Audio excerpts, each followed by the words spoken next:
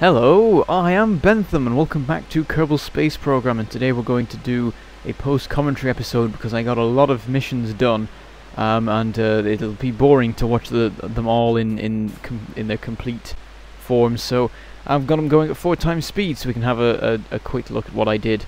So this mission here is the um, is a rescue craft. You, you remember in the last episode we accepted a contract to rescue I believe Gene Kerman who was somehow in orbit so um, we're sending up a rescue craft to save them, manned by Jeb, who at the moment I think has done all our missions. Um, and uh, you can see him there, just screaming over the um, the uh, the space center at two kilometers a second. So we're going to go up and meet him and bring him back home. And you can see I've, I've managed to time it fairly right, not quite. He's a little bit behind us, so um, I sort out my orbit and try and get a nice close encounter. And we get it up to um, 2.4 kilometers. So it's that's just enough to to be near enough for him to activate. But we we want to get close if we can. And in fact, the um, the encounter on the other side ends up being um, closer, so I end up swinging around to there, and that's a, a an encounter of 1.1 kilometers. So here we go, and um, trying to look around, trying to find him. There he is, and he flies past us. So I I um, slow us down, get us moving towards him again. Um, but the thing is, we're very low on fuel in this particular rocket, so what I decide to do is let Genden finish off the rendezvous, so I swap over to him and use his EVA pack to bring us in. Uh, there, we're down to under 200 meters, and then within 100, and then we just have to sort of...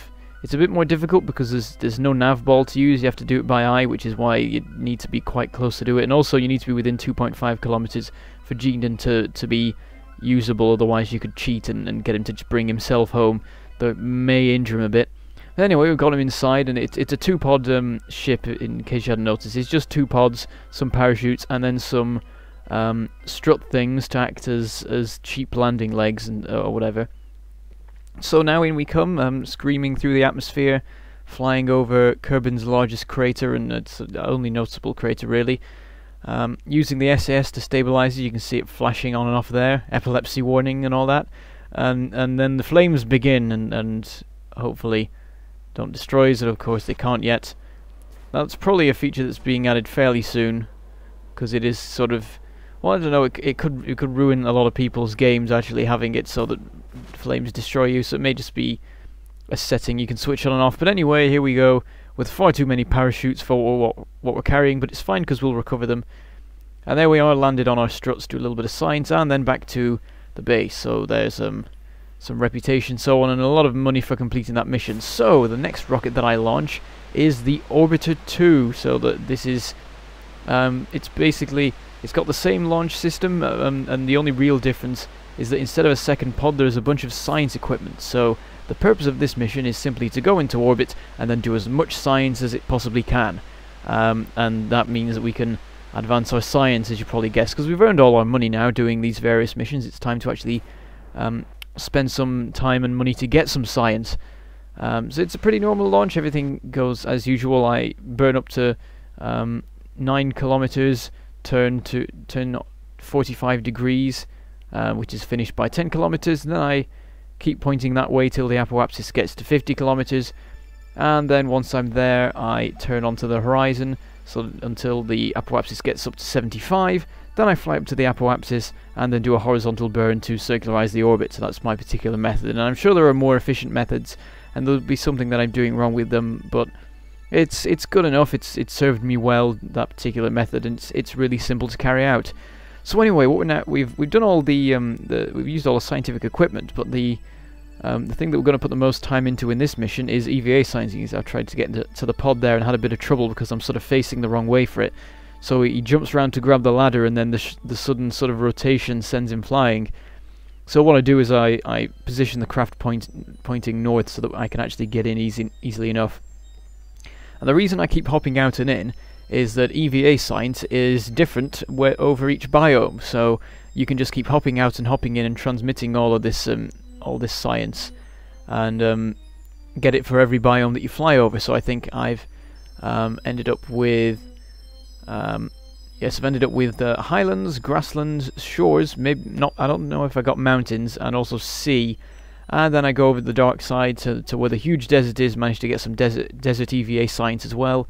and then it's time to go home, so we swing around a bit more, and then we point retrograde, do a little burn, just to get us gently approaching the ground, and what we're aiming for is this huge patch of, of land here, like the, the biggest continent on in on the planet or whatever, um, we decided to burn some extra, seeing as we are over it already. We might as well burn it because there's no reason not doing. It's just going to burn up in the atmosphere. Well, it's it's going to get 2.5 kilometers away and disappear is how it's going to work. But whatever.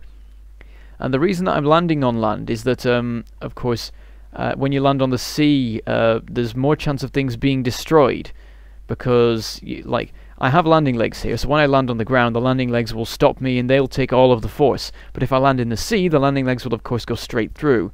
You can see we're actually landing on a slope here. I have to tilt myself forward and land on my front so that we don't start falling over and just tumbling down and exploding everywhere. Which is a danger of landing on land, and that's probably one of the reasons that NASA lands on the sea. Uh, there's various reasons, like not killing people and so on. Anyway, we're over into the into our next mission now, and you can see this is a lot bigger, and it uses a few parts that we got from the science that I just gained from the Orbiter 2. I didn't show you me getting the science. It was fairly simple. I went into the science menu and and bought some science, and it was very structural bits like the the the tricoupler or whatever it's called. And um, this mission is the Moon Orbiter 1. So what's this? What this is going to do is go into moon orbit, get as low as it, it can without, uh, well, well, with the fuel that it's got, and then it's going to do it's, going to do a bunch of science and come back, and we're going to get even more science. And hopefully, once we've um, once we combine the science from both this mission and the Orbiter 2, we will have enough to um, to actually do a proper moon mission where we land on the moon. Because of course I've been spending more time doing doing money-based missions and not focusing so much on the science, and that's a an interesting new aspect of this update where suddenly you're doing missions solely for money and you sort of forget about doing the science for a bit, and then you have to switch over to science and use up all the money you've earned, or a, a tiny fraction of it really, because so far I've not had any money problems in games that I've played. Anyway, I thought I'd give you a nice cinematic view of the sun rising, seeing as it was happening. Isn't it beautiful if, if a little fast, it like suddenly exploding into into your vision because it's going at four times speed. Um, I just thought it would be nice to show you that for whatever reason. Um, so now we go to the moon, but it's not quite the normal method that I use. Usually, and you saw there, that, that was the sort of uh, system I'd normally do, but this time I'm going for a free return trajectory, meaning that um, once we've done our burn to go to the moon, we don't need to do any more burns, and we will go to the moon, um, pass over its surface, and then carry on and land back on Kerbin because we'll go back into the atmosphere. It takes a bit more fuel than a, than a normal moon flyby mission, but then you don't need to use any fuel to actually get your periapsis below Kerbin's atmosphere again.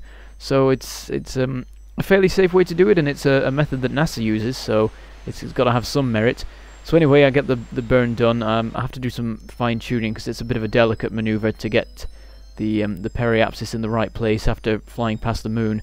I end up overdoing it and have to go back again.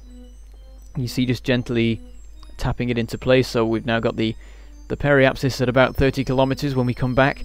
So off we go, and a, a bit more cinematicness with the um, with uh, Kerbin eclipsing the sun. You can see that the light is sort of coming around the edges of Kerbin due to like gravity in the atmosphere and all sorts of cool things like that. And then the sun pops out the other side again. So that's two sunrises you've seen in the past like two minutes.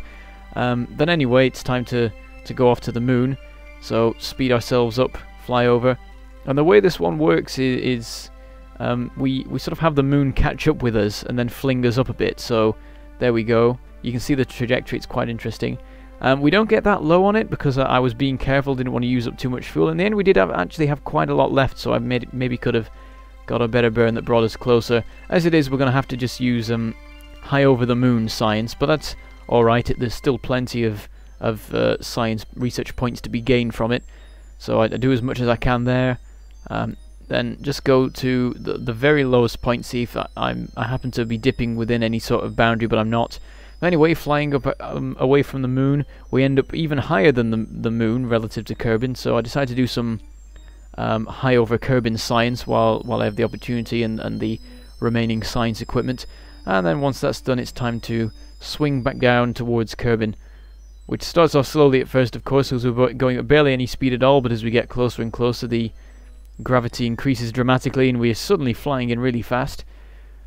And I think we're going at something like 30, uh, well, not 30, 3 kilometers a second now, something like that. But anyway, um, get ourselves pointing the right way using the SAS to sort of even out our um, trajectory. And then there's a lot of flames, a, a very high amount because we're coming from so high up and it burns a lot longer than it usually does. And it takes a long time for us actually to um, get our periapsis to, well, get our apoapsis even to drop below the atmosphere.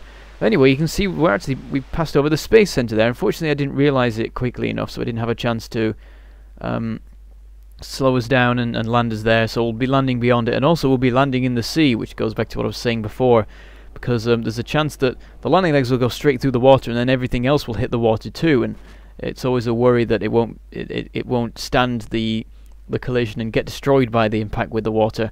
But we've got a lot of parachutes on this, three of them, so that should hopefully be enough. So all we have to, we're just gonna have to see what happens. We drop in, it looks alright, do a quick spin with the, the craft to check that everything's still in place. It looks like it is. So we're alright there, and it's time to recover the craft. And we have 250 science as well as a bunch of money and, and reputation, which we'll get to make use of in future missions. So now I shall say goodbye. Thank you for watching, and I shall see you next time.